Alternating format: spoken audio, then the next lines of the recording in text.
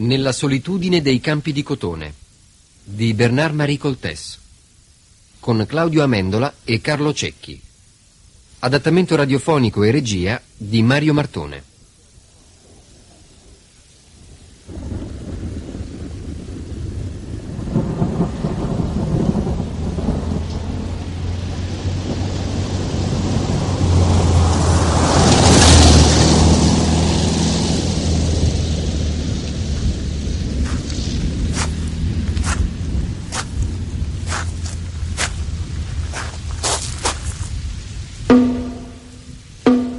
Se lei se ne va in giro a quest'ora e in questo posto, vuol dire che desidera qualcosa che non ha. E questa cosa io gliela posso dare. Perché se io sono in questo posto da molto più tempo di lei e per molto più tempo, e se persino quest'ora, che è l'ora dei rapporti brutali fra gli uomini e gli animali, non mi caccia via da qui, è perché io ho quello che ci vuole per soddisfare il desiderio che mi passa davanti. Ed è come un peso di cui mi devo liberare su chiunque, uomo o animale, passi davanti a me. Per questo mi avvicino a lei, nonostante sia l'ora in cui di solito l'uomo e l'animale si avventano ferocemente uno sull'altro. Mi avvicino io a lei, le mani aperte e i palmi rivolti verso di lei, con l'umiltà di chi offre di fronte a chi compra, con l'umiltà di chi possiede di fronte a chi desidera. E vedo il suo desiderio accendersi come una luce a una finestra in cima a un palazzo al crepuscolo. Mi avvicino a lei come il crepuscolo avvicina questa prima luce, con dolcezza, con rispetto, quasi con affetto lasciando che giù in strada l'animale e l'uomo tirino le loro catene e si mostrino i denti con ferocia. Non che abbia indovinato quel che lei potrebbe desiderare, né che abbia fretta di saperlo. Il desiderio di un compratore è la cosa più malinconica del mondo. La contempli come un segreto da niente, che chiede solo di essere svelato e te la prendi comoda prima di svelarlo. Il fatto è che io stesso, da quando sono in questo posto, ho desiderato tutto quello che ogni uomo o animale può desiderare in quest'ora buia che lo costringe a uscire da casa nonostante i grugniti selvaggi degli animali insoddisfatti e degli uomini insoddisfatti. Ecco perché io so, meglio del compratore inquieto che conserva ancora per un po' il suo mistero come una verginella allevata per essere una puttana, che quello che mi chiederà io ce l'ho già e che tutto quello che dovrà fare lei senza sentirsi offeso dall'apparente ingiustizia che c'è nell'essere chi domanda di fronte a chi offre, sarà chiedermelo perché su questa terra la sola vera ingiustizia è quella della terra stessa, arida per il freddo, arida per il caldo, e raramente fertile per la dolce mescolanza del caldo e del freddo. Non esiste ingiustizia per chi cammina sulla stessa parte di terra sottoposta allo stesso freddo, allo stesso caldo o alla stessa dolce mescolanza. E ogni uomo, ogni animale che può guardare negli occhi un altro uomo, un altro animale, è suo simile, perché si muovono sulla stessa sottile e piatta linea di latitudine, schiavi degli stessi freddi e delle stesse calure, ricchi allo stesso modo e nello stesso modo poveri, e la sola frontiera che esiste è quella fra il compratore e il venditore.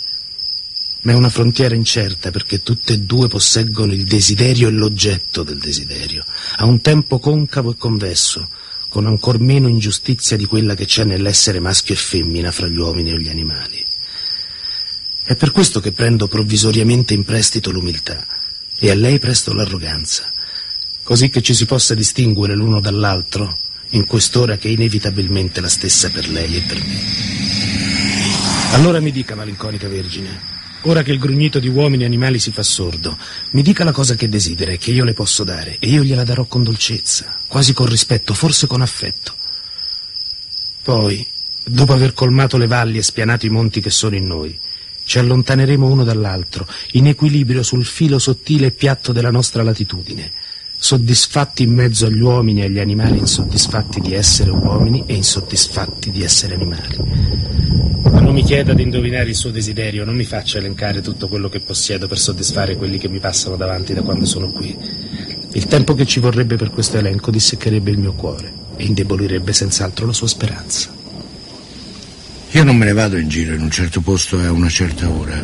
Io vado da un punto a un altro per affari privati che si trattano in questi due punti e non lungo il tragitto. Non so niente di nessun crepuscolo né di nessun tipo di desiderio ed è mia intenzione ignorare gli incidenti di percorso. Io andavo da quella finestra illuminata lassù dietro di me a quell'altra finestra illuminata laggiù davanti a me, seguendo una linea perfettamente diritta che passa attraverso di lei perché lei si è deliberatamente messo in mezzo. Ora non esiste nessun modo che consenta a chi si deve spostare da un luogo elevato a un altro luogo elevato di evitare di scendere per poi dover risalire con la conseguente assurdità di due movimenti che si annullano e con il rischio fra i due di pestare a ogni passo i rifiuti buttati dalle finestre. Più si abita in alto, più lo spazio è sano, ma più dura è la caduta. E quando l'ascensore ci deposita in basso ci condanna a camminare in mezzo a tutto quello che lassù non abbiamo voluto, in mezzo a un mucchio di ricordi putrescenti, come al ristorante quando un cameriere ci fa il conto e elenca alle nostre orecchie nauseate tutte le pietanze che stiamo già digerendo da un pezzo. D'altronde l'oscurità avrebbe dovuto essere ancora più fitta, tanto da non farmi distinguere niente della sua faccia. Allora forse avrei potuto ingannarmi sulla legittimità della sua presenza e dello scarto che ha fatto per piazzarsi sulla mia strada e fare anch'io uno scarto che si accordasse con il suo, può esserci un'oscurità più oscura di lei. Non c'è notte senza luna che non sembri mezzogiorno se lei vi sta passeggiando e quel mezzogiorno mi rivela piuttosto chiaramente che non è stato il capriccio degli ascensori a piazzarla qui, ma un'inesorabile legge di gravità che le appartiene, che porta visibile sulle spalle come un sacco e che la inchioda a quest'ora in questo posto da cui valuta sospirando l'altezza dei palazzi.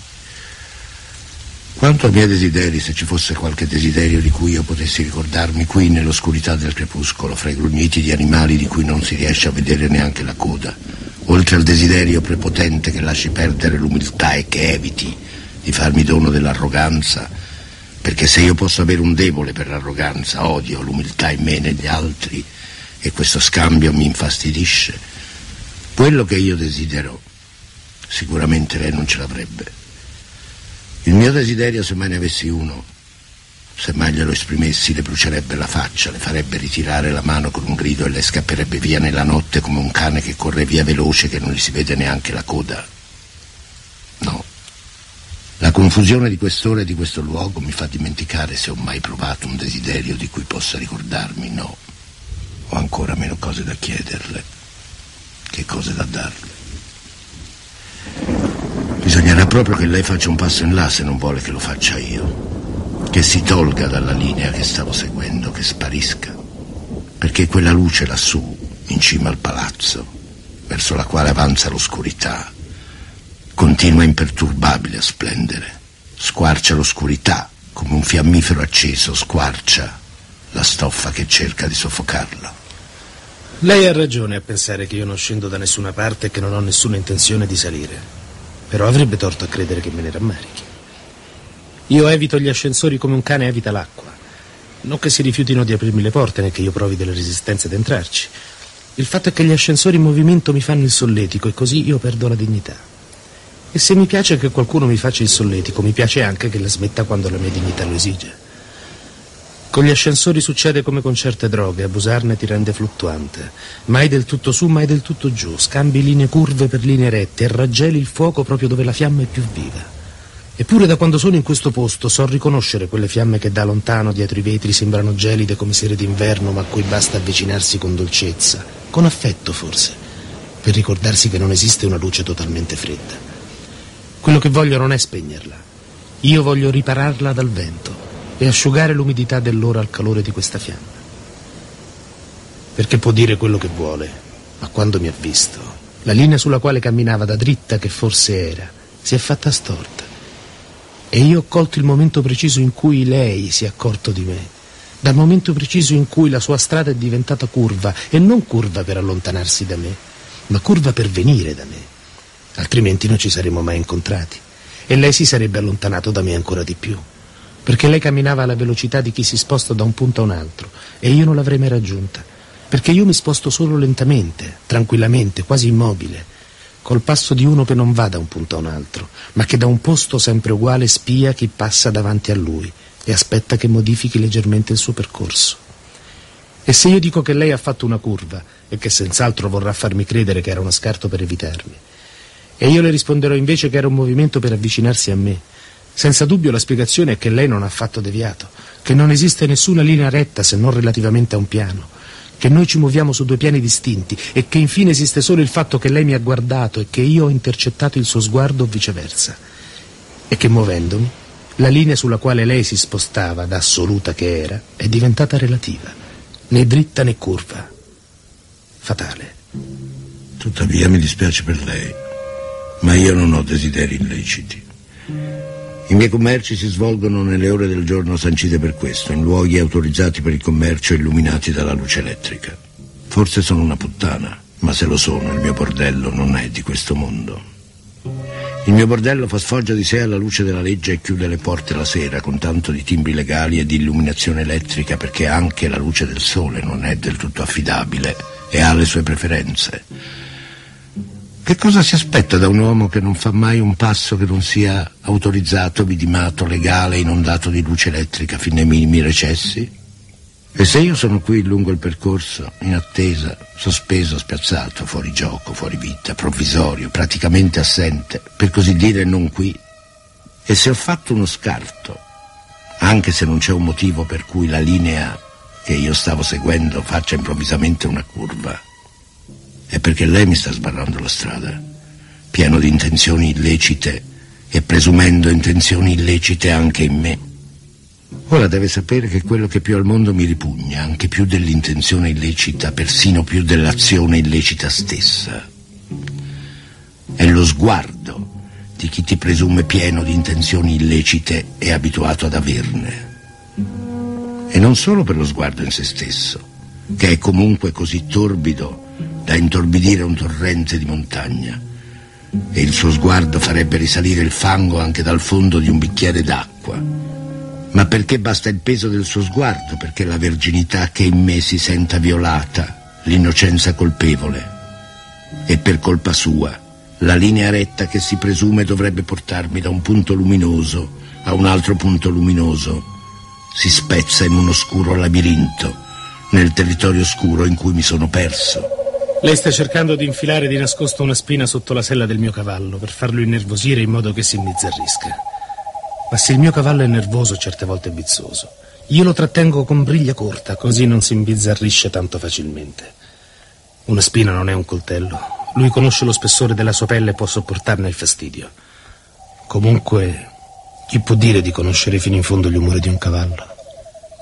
Quindi sappia che se io parlo così, con dolcezza, ancora con rispetto forse, non è come per lei, che parla una lingua che la fa riconoscere come quello che ha paura, una piccola paura acuta, stupida, troppo scoperta, come quella di un bambino che si aspetta uno schiaffo dal padre.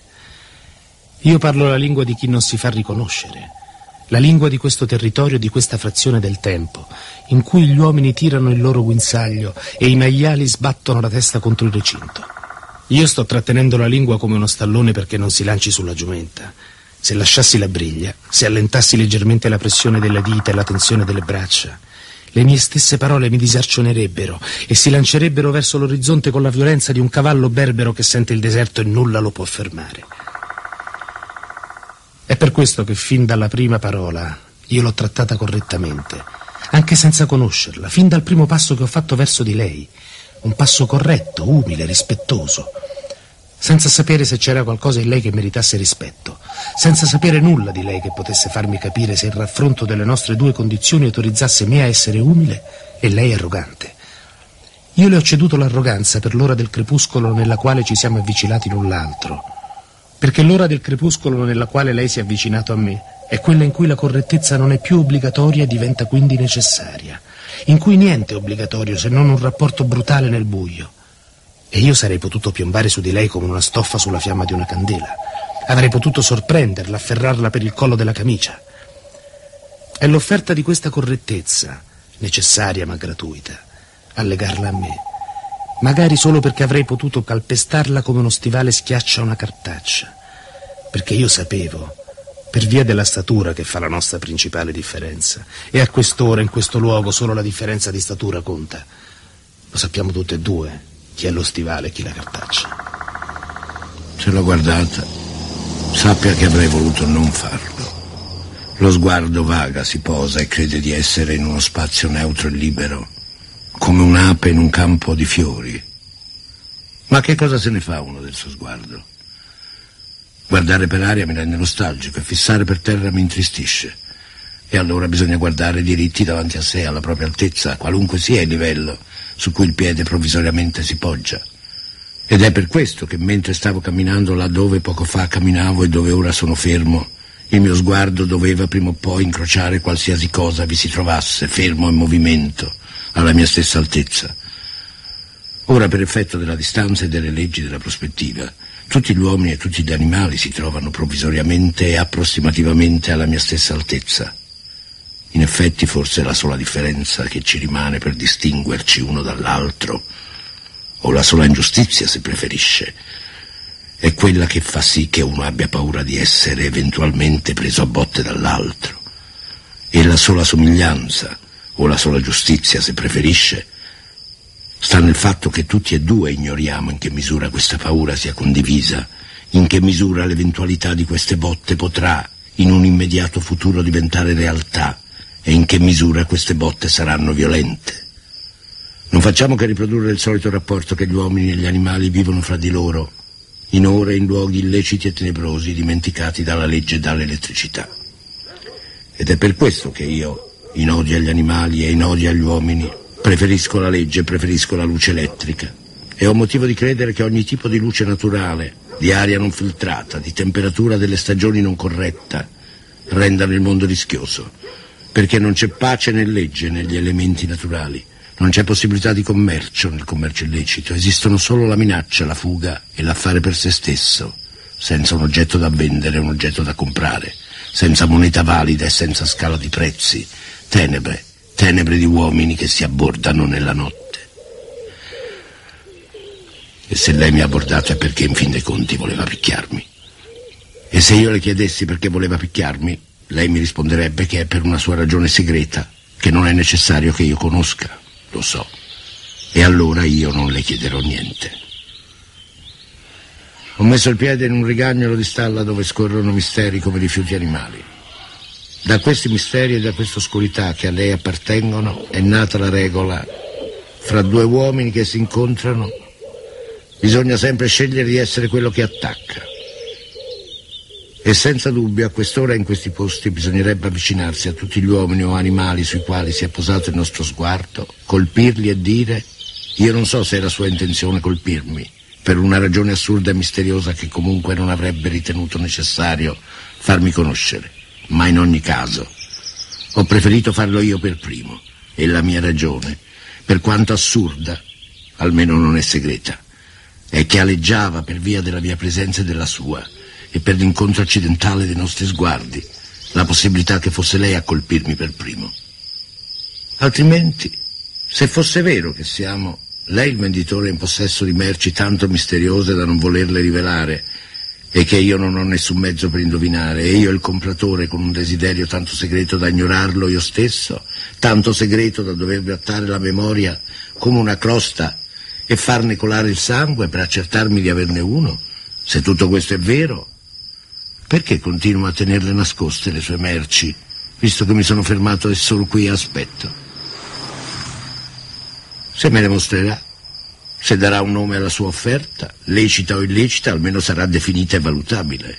Se lei le darà un nome, io saprò dire no. E la smetterò di sentirmi come un albero vacillante sotto un vento che non viene da nessuna parte né scuote le radici. Perché io so dire no, e mi piace dire no. Sono capace di stordirla con i miei no, di farle scoprire tutti i modi che ci sono di dire no, che cominciano da tutti i modi che ci sono per dire sì, come fanno certe smorfiose quando provano tutte le camicette e tutte le scarpe per non comprarne poi nessuna, e il piacere che hanno nel provarle tutte consiste nel piacere che hanno di non comprarne nessuna. Si decida, si scopra. Che cos'è lei? Il bruto che calpesta il selciato o un commerciante.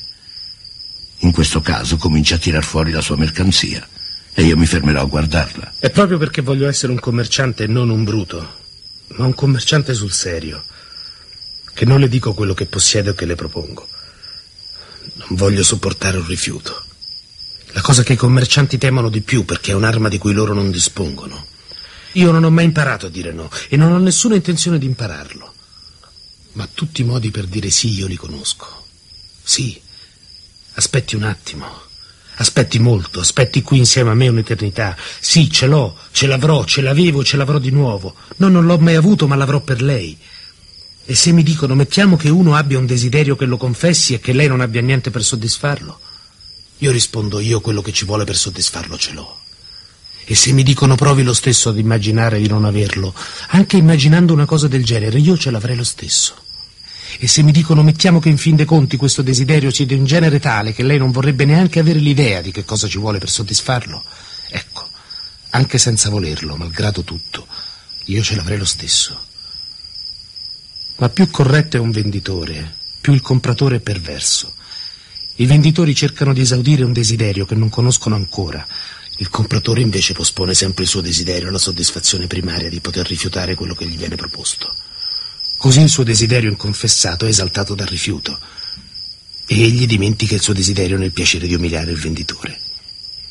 Ma io non sono della razza di quei commercianti che mettono sottosopra il negozio per soddisfare il gusto del cliente.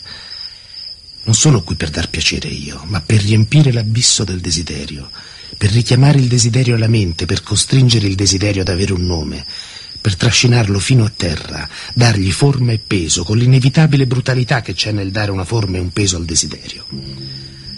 E poiché vedo il suo apparire agli angoli della bocca come saliva che le labbra ringhiottono, aspetterò che le coli lungo il mento e che lei lo sputi prima di tenderle un fazzoletto, perché so già che se glielo offrissi troppo presto lei lo rifiuterebbe. E questo è un dolore che non ho intenzione di sopportare. Perché quello che tutti gli uomini e tutti gli animali temono, nell'ora in cui l'uomo cammina allo stesso livello dell'animale e l'animale cammina allo stesso livello dell'uomo, non è la sofferenza. Quello che temono più di ogni altra cosa è la stranezza della sofferenza, è l'essere costretti a sopportare una sofferenza sconosciuta. Dunque la prego, non si rifiuti di dirmi l'oggetto della sua febbre, del suo sguardo fisso su di me, me la dica la ragione. E se il problema è di non sentirsi ferito nell'orgoglio, va bene. La dica come la direbbe a un albero, o davanti a un muro di una prigione, o nella solitudine di un campo di cotone dove si passeggia nudi di notte. Me la dica senza neanche guardarmi. Perché la sola vera crudeltà in quest'ora del crepuscolo in cui tutte e due ci troviamo non è che un uomo ferisca l'altro, o lo mutili, o lo torturi, o gli strappi le membra e la testa, o anche solo lo faccia piangere. La crudeltà vera e terribile è quella dell'uomo o dell'animale che rende l'uomo l'animale incompiuto che l'interrompe come dei puntini di sospensione in mezzo a una frase, che gli volta le spalle dopo averlo guardato, che riduce l'uomo e l'animale a un errore di sguardo, un errore di giudizio, un errore. Come una lettera appena iniziata e brutalmente stracciata subito dopo aver scritto la data. Lei è un bandito troppo strano che non ruba niente o aspetta troppo a rubare. Un razziatore eccentrico che si introduce di notte nel frutteto per scrollare gli alberi e se ne va senza raccogliere frutti. È lei che conosce questo posto. Io sono lo straniero. Io sono quello che ha paura e che ha ragione di avere paura. Io sono quello che non la conosce, che non può conoscerla, che cerca di intuire il profilo della sua ombra nell'oscurità. Toccava a lei indovinare, nominare qualcosa, e allora forse con un lieve cenno del capo io avrei provato, da un segno avrebbe saputo. Ma io non voglio che il mio desiderio sia sparso inutilmente come sangue in terra straniera. Lei non sta rischiando niente. Lei di me conosce l'inquietudine, l'esitazione e la diffidenza. Sa da dove vengo e sa dove vado. Lei conosce queste strade, conosce quest'ora, conosce i suoi piani. Io non so niente sto rischiando tutto. Davanti a lei mi sento come davanti a quegli uomini travestiti da donna che si mascherano da uomo. Alla fine non si capisce più dove è il sesso. La sua mano si è posata su di me come quella del bandito sulla vittima o come quella della legge sul bandito. Ed allora io soffro, soffro nell'ignoranza, ignorando il mio destino, ignorando se sono imputato o complice, non sapendo quello di cui soffro, soffro di non sapere quale ferita mi sta infliggendo e da dove il sangue sgorga. Può darsi che in effetti lei non sia affatto strano, ma solamente astuto. Può darsi che lei non sia altro che un servo della legge travestito, come la legge a volte ne produce a immagine e somiglianza del bandito per braccare il bandito. Può darsi che tutto sommato lei sia più legalitario di me. E poiché io sono lo straniero che non conosce né la lingua né le usanze, né il diritto né il rovescio, e che agisce come stordito, perduto. Ecco che è come se le avessi chiesto qualcosa, è come se le avessi chiesto la peggiore delle cose e fossi colpevole per avergliela chiesta. Fuori di me è colato un desiderio come sangue ai suoi piedi, un desiderio che non conosco e non riconosco, che lei è il solo a conoscere e a giudicare. Se le cose stanno così, se lei sta cercando con la sollecitudine sospetta del traditore di costringermi a agire con lei o contro di lei, perché io sia in ogni caso colpevole. Se è questo, allora almeno riconosca che io non mi sono ancora mosso né a suo favore né contro di lei, che non c'è ancora niente di cui mi si possa accusare, che fino ad ora io mi sono comportato onestamente. Testimoni che non sono piombato dal nulla nell'oscurità dove lei mi ha fermato, che mi sono fermato solo perché lei ha messo la sua mano su di me testimoni che ho invocato la luce, che non sono strisciato nell'ombra come un ladro di mia volontà e con intenzioni illecite, ma che qualcuno mi ha sorpreso nel buio e io ho gridato come un bambino nel suo letto quando la lampada notturna tutto a un tratto si spegne. Se lei pensa che io sia animato da intenzioni violente nei suoi confronti, forse ha ragione, non abbia fretta di dare un genere o un nome a questa violenza. Lei è nato con l'idea che il sesso di un uomo si nasconde in un punto preciso e che lì rimane. E conserva gelosamente questa idea. Io invece, anche se sono stato partorito come lei, so che il sesso di un uomo col tempo che passa ad aspettare, a dimenticare, a star seduto nella solitudine, si sposta dolcemente da un posto all'altro. Non si nasconde mai in un punto preciso, ma diventa visibile dove meno lo cerchiamo. Che non ci sono travestimenti possibili per una cosa del genere ma una dolce esitazione delle cose, come le stagioni intermedie che non sono né l'estate travestita da inverno né l'inverno da estate. Io non sono astuto, sono curioso. Ho posato la mia mano sul suo braccio per pura curiosità, per sapere se a una carne che sembra quella di una gallina spennata corrisponde il calore di una gallina viva o il gelo di una gallina morta. E adesso lo so. Quando oggi l'ho toccata ho sentito in lei il freddo della morte ma ho anche sentito che lei soffriva per il freddo, come solo un essere vivente può soffrire. Per questo le ho dato la mia giacca per coprirsi le spalle, perché io non lo soffro il freddo. Non ne ho mai sofferto, tanto da soffrire di non conoscere questa sofferenza, tanto che il solo sogno che facevo da bambino, uno di quei sogni che non sono obiettivi cui tendere, ma prigioni supplementari, che segnano il momento in cui il bambino si accorge delle sbarre della sua prima prigione, come chi nato da schiavi sogna di essere figlio del padrone. Il mio sogno personale era di conoscere la neve e il gelo, di conoscere quel freddo che la fa tanto soffrire. Se le ho prestato solo la giacca, non vuol dire che io ignori che lei non soffre il freddo solo nella parte alta del corpo, ma con licenza parlando anche dall'alto in basso, addirittura forse un po' oltre. Ma mia madre, che non era affatto avara, ma dotata del senso delle convenienze, mi disse che se è cosa confacente donare la camicia o la giacca o qualsiasi altro indumento copra la parte alta del corpo, bisogna sempre esitare a lungo prima di donare le scarpe e non è in nessun caso decente dar via i pantaloni. Ora, come so che la terra sulla quale lei, io e tutti quanti poggiamo, poggia a sua volta in equilibrio sulle corna di un toro ed è tenuta in questa posizione dalla mano della provvidenza, così mi sforzo di non uscire mai dai limiti della decenza. Ed evito tutto ciò che è indecente, come un bambino deve evitare di sporgersi dal tetto, anche prima di capire la legge della caduta dei corpi. E come il bambino crede che gli proibiscano di sporgersi dal tetto per impedirgli di volare, così per molto tempo ho creduto che vietassero ai ragazzi di dar via i pantaloni per impedirgli di svelare l'esuberanza o il languore dei loro sentimenti. Ma adesso che capisco più cose, che riconosco meglio le cose che non capisco, che sono rimasto per tanto tempo in questo posto e a quest'ora, che ho visto passare tanti passanti, che li ho guardati e ho qualche volta posato loro la mano sul braccio, tante volte, senza capire niente, senza voler capire niente, ma senza per questo rinunciare a guardarli e a cercare di posare la mano sul loro braccio.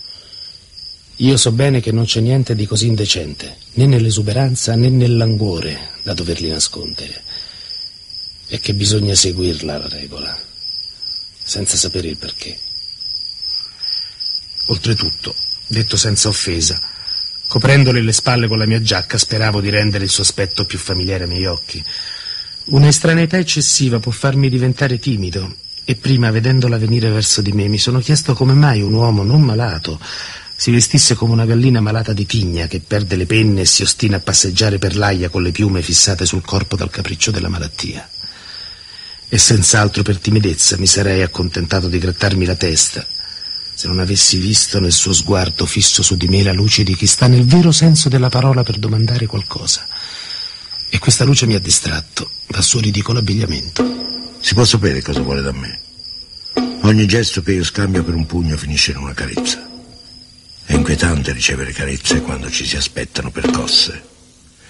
Io esigo che lei sia almeno diffidente se vuole che mi trattenga. Visto che mi sta dando ad intendere che deve vendermi qualcosa, perché non domandarsi prima se posso pagarla? Le mie tasche potrebbero essere vuote. Sarebbe stato onesto da parte sua chiedermi prima di tutto di far vedere sul banco i miei soldi, come si fa con i clienti sospetti, invece niente di tutto questo. Che gusto ci trova a rischiare di essere imbrogliato? Non sono venuto in un posto simile per trovare dolcezza. La dolcezza lavora sul dettaglio, attacca a morsi, seziona le forze come un cadavere su un tavolo anatomico. Ho bisogno di sentirmi integro. L'ostilità almeno mi conserverà intatto. Si arrabbi, altrimenti dove andrò a prenderla la mia forza? Si arrabbi. Non ci allontaneremo troppo dalle nostre questioni e saremo sicuri di stare trattando tutti e due lo stesso affare. Perché se io capisco dove trovo il mio piacere, non sto capendo dove lei trova il suo. Se per un attimo avessi dubitato che lei non fosse in grado di pagare quello che è venuto a cercare qui, quando si è avvicinato a me, mi sarei scostato. I negozi da quattro soldi esigono che i clienti provino la loro solvibilità, ma le boutique di lusso indovinano e non chiedono niente. Non si abbassano mai a verificare l'importo di un assegno e l'autenticità della firma. Ci sono oggetti da vendere e oggetti da comprare per i quali il problema di sapere se l'acquirente sarà in grado di coprire la spesa e quanto tempo impiegherà a decidere non si pone nemmeno. Così io sono paziente perché non si offende un uomo che si allontana quando sappiamo che ritornerà. Su un insulto non si può tornare indietro, mentre di una gentilezza ci si può sempre pentire. E è meglio abusare di quest'ultima piuttosto che far uso anche una sola volta del primo. Per questo io non mi arrabbio ancora, perché per me esiste un tempo per non essere arrabbiato e un tempo per essere arrabbiato. Io mi arrabbierò, forse, quando tutto questo tempo sarà trascorso. E se per ipotesi ammettessi che io non sono stato arrogante solo perché lei mi ha pregato di esserlo quando si è avvicinato a me per qualche disegno che io ancora non riesco a indovinare e che tuttavia mi trattiene qui? Se per ipotesi le dicessi che quello che mi trattiene qui è l'incertezza in cui mi trovo circa le sue intenzioni e l'interesse che questo suscita in me? Nella stranezza dell'ora e la stranezza del luogo e la stranezza del suo avvicinarsi a me? Io avrei potuto avvicinarmi a lei, mosso da quel movimento che ogni cosa conserva in sé fin tanto che non gli viene impresso un movimento contrario. Forse lentamente, ma pieno di speranza, sprovvisto di ogni desiderio formulabile, ma pronto a essere soddisfatto da quello che mi sarebbe stato proposto. Avrei potuto avvicinarmi a lei, aspettandomi da lei il gusto di desiderare, l'idea di un desiderio, l'oggetto, il prezzo e la soddisfazione. Non c'è niente da vergognarsi a dimenticare la sera quello di... che lei mi dicesse di essere per il momento sprovvisto di desideri da esprimere, per stanchezza o per oblio, o per l'eccesso di desiderio che conduce all'oblio. Io di rimando le risponderei, per esempio, di non affaticarsi ulteriormente e di prendere in prestito un desiderio altrui. La giacca di un uomo tiene caldo anche portata da un altro. Ed è più facile prendere in prestito un desiderio che un vestito. Dato che io devo vendere a tutti i costi e a tutti i costi lei deve comprare, allora compri per qualcun altro. Qualsiasi desiderio vagante riuscirà a raccattare sarà un affare. Per esempio per far contento e soddisfare chi si sveglia vicino a lei fra le lenzuola la mattina. Una fidanzatina che potrebbe desiderare svegliandosi qualcosa che non ha ancora e che a lei farebbe piacere regalarle. E lei sarebbe contento di possedere perché l'avrebbe comprata da me. E comunque questa merce potrà ben servire a qualcun altro se per ipotesi lei non sapesse che farsene. La regola vuole che un uomo che incontra un altro uomo finisca sempre per dargli delle pacche sulle spalle, parlandogli di donne. La regola vuole che il ricordo della donna sia l'ultima risorsa dei combattenti sfiniti. Lo vuole la regola, la sua regola. Io non mi ci sottometterò. Io non voglio trovare una pace nel segno dell'assenza della donna, né nel ricordo di un'assenza, né in qualsiasi tipo di ricordo. I ricordi mi ripugnano e gli assenti pure. Preferisco i piatti non ancora toccati, al cibo già digerito. Non voglio una pace venuta da chissà dove, io non voglio dover trovare una pace. Ma lo sguardo del cane esprime solo la convinzione che tutto intorno a lui sia, senza ombra di dubbio, canino. Così lei vuol far credere che il mondo sul quale stiamo, lei e io, sia tenuto in bilico sulla punta del corno di un toro dalla mano della provvidenza. Mentre invece io so che galleggia sul dorso di tre balene, che provvidenza e equilibrio non esistono, esiste solo il capriccio di tre mostri dementi. I nostri monti dunque non sono gli stessi e la nostra stranezza è mescolata alle nostre nature come l'uva nel vino, no. Io non alzerò la zampa davanti a lei negli stessi suoi posti. No. Io non sono soggetto alla sua stessa gravità. Io non sono uscito dalla stessa femmina. Perché non è al mattino che io mi sveglio. E non è fra le lenzuola che dormo. Non se la prenda, vecchio mio. Non se la prenda. Io sono solo un povero venditore che non conosce altro che questo pezzetto di mondo dove aspetta di vendere e che sa solo quello che gli ha insegnato la mamma. E siccome lei non sapeva niente o quasi, anch'io non so niente o quasi. Ma un buon venditore cerca di dire quello che il compratore vuol sentire. E per tentare di indovinarlo dovrà pure leccarlo un po' per riconoscerne l'odore. Il suo odore personale non mi è risultato per niente familiare, è vero. Noi non siamo proprio usciti dalla stessa madre. Ma per avere il coraggio di avvicinarmi a lei, ho immaginato che anche lei doveva pure essere uscito da una madre, come me, che anche a lei, come a me, sua madre doveva avere regalato un numero incalcolabile di fratelli, come un attacco di singhiozzo dopo un banchetto e che in tutti i casi ci avvicina l'assenza di unicità che caratterizza tutte e due. E mi sono attaccato a quello che perlomeno avevamo in comune, perché si può viaggiare a lungo nel deserto a condizione di avere un punto di riferimento da qualche parte. Ma se mi sono sbagliato, se lei non è uscito da nessuna madre, se nessuno le ha dato dei fratelli, se lei non ha una fidanzatina che si sveglia al mattino vicino a lei fra le lenzuola, vecchio mio, io le chiedo perdono. Due uomini che si incrociano possono solo scegliere di picchiarsi, con la violenza di due nemici o con la dolcezza di due fratelli. E se alla fine scelgono, nel deserto di quest'ora, di evocare quello che non c'è, passato, sogno, nostalgia, è perché si fa fatica ad affrontare direttamente troppa estraneità. Davanti al mistero conviene aprirsi e svelarsi totalmente, così da costringere il mistero a fare altrettanto. I ricordi sono l'arma segreta che l'uomo conserva su di sé, anche quando è spogliato di tutto. L'ultima franchezza che domanda in cambio la stessa franchezza, la nudità estrema.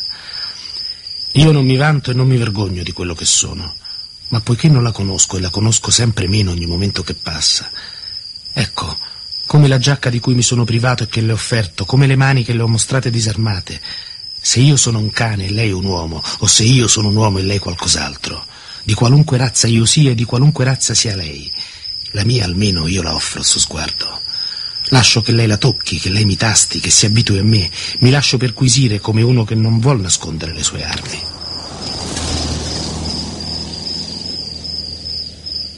Per questo le propongo, con prudenza, seriamente, tranquillamente, di guardarmi con amicizia, perché si fanno affari migliori se si è protetti dalla familiarità. Non sto cercando di imbrogliarle, non le chiedo niente che lei non voglia dare. Il solo cameratismo per cui valga la pena di impegnarsi non implica che si agisca in un modo piuttosto che in un altro, ma che non si agisca per niente. Quello che io le propongo è l'immobilità, la pazienza infinita e l'ingiustizia cieca dell'amico.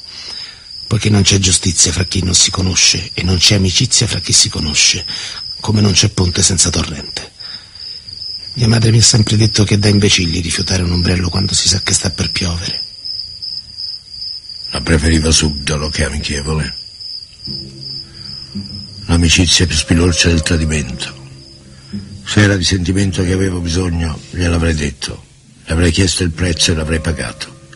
Ma i sentimenti si scambiano solo con i sentimenti. È un commercio finto con soldi finti, un commercio da poveri che scimmiotta il commercio. Cosa vuol dire scambiare un sacco di riso con un sacco di riso? Lei non ha niente da propormi, per questo butta sul banco i suoi sentimenti, come quando i cattivi negozianti fanno lo sconto sulla merce scadente, così poi non ci si può più lamentare del prodotto. Io sentimenti da darle in cambio non ne ho, sono sprovvisto di questo tipo di moneta, non mi è venuto in mente di portarla con me, mi perquisisca pure. Quindi si tenga le mani in tasca, tenga la mamma a casa, tenga i suoi ricordi per quando è solo. È il minimo che possa fare. Non saprei che farmene della familiarità che lei subdolamente sta cercando di instaurare fra di noi. Non l'ho voluta io la sua mano sul mio braccio, non ho voluto la sua giacca e non voglio correre il rischio di essere confuso con lei. Perché tenga presente che se poco fa lei si è stupito tanto della mia tenuta e non ha creduto opportuno nascondere la sua sorpresa, la mia di sorpresa, quando l'ho vista avvicinarsi a me è stata almeno altrettanto grande. Ma in terra straniera lo straniero si abitua a dissimulare il suo stupore perché ogni stranezza per lui diventa usanza locale e gli conviene adattarsi come al clima o alla cucina tipica. Ma se io la portassi tra i miei amici, se fosse lei lo straniero, costretto a nascondere il suo stupore e non gli indigeni liberi di dimostrarlo, la circonderebbero segnandola a dito la prenderebbero di certo per un fenomeno da baraccone e mi chiederebbero dove si comprano i biglietti.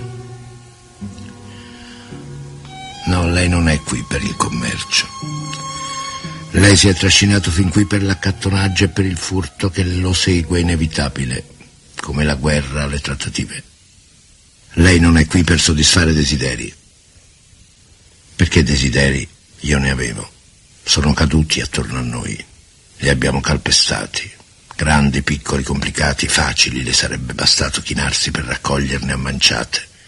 Ma lei li ha lasciati rotolare nel tombino, perché anche quelli piccoli, anche quelli facili, lei non avrebbe avuto di che soddisfarli.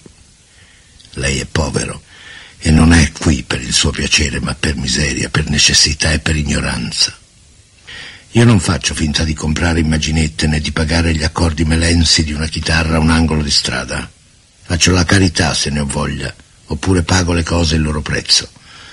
Ma che i mendicanti facciano il piacere di mendicare, che abbiano il coraggio di tendere la mano e che i ladri facciano il piacere di rubare, io non voglio né insultarla, né piacerle. Non voglio essere né buono né cattivo, non voglio picchiare né essere picchiato, non voglio sedurre né che lei cerchi di sedurmi. Voglio essere uno zero. Detesto la cordialità, non sono portato alla confidenza e più che della violenza delle percosse ho paura di quelle del cameratismo. Quindi cerchiamo di essere due zeri, belli rotondi, l'uno all'altro impenetrabili, provvisoriamente giustapposti per poi rotolare ognuno nella sua direzione. Qui, soli come siamo, nella solitudine infinita di quest'ora e di questo posto, un'ora e un posto indefinibili, dato che non c'è motivo che io mi incontri qui con lei, né motivo perché lei si incontri qui con me, né motivo di essere cordiali, né un possibile numero che ci possa precedere dandoci un senso. Cerchiamo di essere due semplici solitari e orgogliosi zeri. È troppo tardi. Il conto è stato fatto e bisognerà pure che qualcuno lo controlli. È giusto rubare a chi non vuole cedere e tiene tutto gelosamente chiuso nei suoi forzieri per il suo piacere solitario, ma è da maleducati rubare quando tutto è in vendita e tutto si può comprare e se è provvisoriamente conveniente avere debiti e accordare a qualcuno una ragionevole dilazione nei pagamenti, è osceno dar via le cose, è osceno accettarle gratuitamente. Noi ci siamo trovati qui per commerciare e non per combattere, quindi non sarebbe giusto che ci fosse uno sconfitto e un vincitore. Lei non se ne andrà di qui con le tasche piene come un ladro. Non dimentichi che il cane che fa la guardia alla strada le morderà il culo. Poiché lei è venuto qui nella collera ostile degli uomini e degli animali per non cercare niente di tangibile, poiché per non so quale oscura ragione vuole essere picchiato a sangue, prima di girare i tacchi le toccherà pagare e vuotare le tasche, così da non aver debiti con se stesso, così da non essersi regalato niente. Non si fidi del mercante. Il mercante che viene derubato è più geloso di un proprietario che viene rapinato. Non si fidi del mercante. I suoi discorsi hanno la maschera del rispetto e della dolcezza, la maschera dell'umiltà, la maschera dell'amore, ma soltanto la maschera. Ma in fin dei conti che cos'è? Che lei ha perso e che io non ho vinto. Perché ho un bel frugare nella memoria, ma io non ho vinto proprio niente. Certo che pago le cose il loro prezzo, ma non pago certo il vento, l'oscurità, il nulla che c'è fra di noi. Se lei ha perso qualcosa, se il suo tesoro si è alleggerito da chi mi ha incontrato, dove è andato a finire? Quello che manca a tutti e due, me lo faccia vedere. No, io non ho goduto di niente. No, io non pagherò niente. Se lei vuol sapere quel che fin dall'inizio era scritto sulla sua fattura e che lei dovrà pagare prima di andarsene, le dirò che è l'attesa, la pazienza e il lancio dell'articolo che il venditore fa al cliente e la speranza di vendere. E soprattutto la speranza a far sì che tutti gli uomini che si avvicinano ad altri uomini con una richiesta nello sguardo siano già debitori. Da ogni promessa di vendita si deduce la promessa di comprare. E c'è una penale per chi non mantiene la promessa. Noi due non siamo sperduti in mezzo a un campo soli. Se chiamassi da quella parte, verso quel muro, lassù, verso il cielo, lei vedrebbe brillare delle luci, sentirebbe dei passi avvicinarsi in mio aiuto. Se odiare da soli è faticoso, in tanti diventa un piacere. Lei preferisce prendersela con gli uomini perché ha paura del grido delle donne e si immagina che tutti gli uomini si vergognino a gridare. Lei conta sulla dignità, sulla vanità e sul mutismo degli uomini. Io gliela regalo questa dignità. Se ha intenzione di farmi del male, io chiamerò, mi metterò a gridare, chiederò aiuto.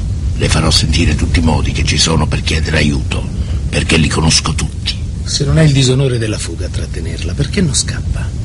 La fuga è un'arma raffinata, lei è raffinato, quindi dovrebbe fuggire. Mi sembra una di quelle grasse signore che veleggiano fra i tavoli nelle sale da tè rovesciando le tegliere. Si porta a spasso il culo trascinandoselo dietro come un peccato di cui prova rimorso e si gira e si rigira in tutti i sensi per far credere di non avercelo il culo. Faccia, faccia.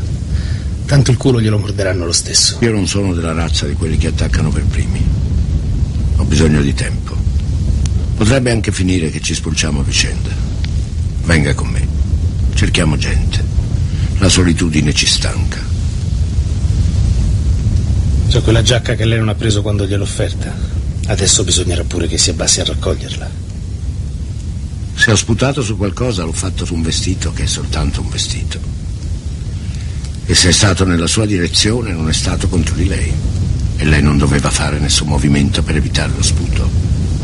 E se lei ha fatto un movimento per riceverlo in faccia, per suo piacere, per perversione o per calcolo, ciò non toglie che solo su quel pezzo di stoffa che io ho mostrato un po' di disprezzo. E un pezzo di stoffa non presenta il conto. No.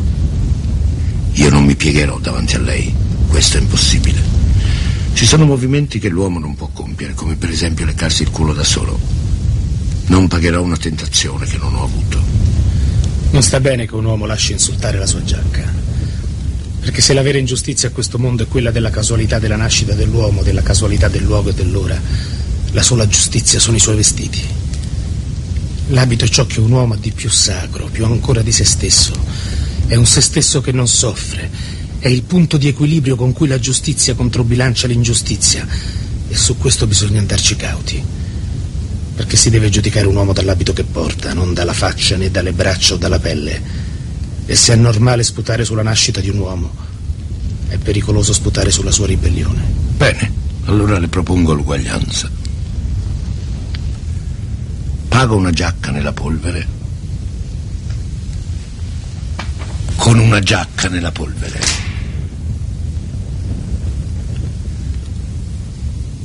Diventiamo uguali. Uguali nell'orgoglio, uguali nell'impotenza, ugualmente disarmati, ugualmente esposti al freddo e al caldo. La sua seminudità, la sua mezza umiliazione, gliela pago con metà delle mie. Ci resta un'altra metà. È più che sufficiente per avere ancora il coraggio di guardarsi, di dimenticare quello che tutti e due abbiamo perso per sbadataggine, per rischio, per speranza, per distrazione, per caso. A me in più resterà l'inquietudine persistente del debitore che ha già saldato il conto. Perché quello che sta chiedendo astrattamente, intangibilmente, a quest'ora della notte? Perché quello che avrebbe chiesto a un altro? Perché a me non l'ha chiesto? Non si fidi del cliente. Ha l'aria di cercare una cosa, invece ne vuole un'altra che il venditore non sospetta e che alla fine riuscirà a ottenere. Se lei fuggisse io la rincorrerei. Se lei cadesse sotto i miei colpi starei vicino a lei fino al suo risveglio. E se lei non tornasse in sé, resterei al suo fianco, fin nel suo sonno, nella sua incoscienza, al di là. Eppure io non ho voglia di fare a botte con lei. Io non ho paura di battermi, ma diffido delle regole che non conosco. Non ci sono regole. Ci sono solo mezzi. Ci sono solo le armi. Provi a raggiungermi. Non ci riuscirà. Provi a ferirmi. Quando il sangue scorrerà sarà da tutte e due le parti e ineluttabilmente ci unirà. Come due indiani che si scambiano il sangue vicino al fuoco, in mezzo alle bestie feroci. Non è l'amore, non è l'amore. Lei non potrà raggiungere niente che non sia già stato raggiunto, perché un uomo prima muore, poi cerca la sua morte e alla fine la incontra per caso, sul tragitto casuale da una luce o un'altra luce e dice, dunque, era solo questo. La prego, non ha per caso detto qualcosa che desiderasse da me e che io nel frastuono della notte non ho sentito? Non ho detto niente, non ho detto niente. E lei? Nella notte, nell'oscurità così profonda che chiede troppo tempo perché ci si abitui, non mi ha proposto niente che io non ho indovinato. Niente. Allora, qual è l'arma?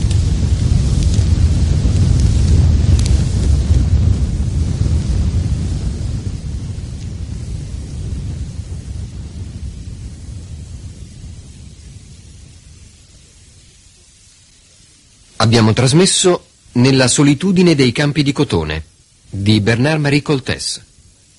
Adattamento radiofonico di Mario Martone. Personaggi e interpreti. Il dealer Claudio Amendola. Il cliente Carlo Cecchi. Coordinamento tecnico Violetta Parodi. Collaborazione Arturo Cirillo. Regia di Mario Martone.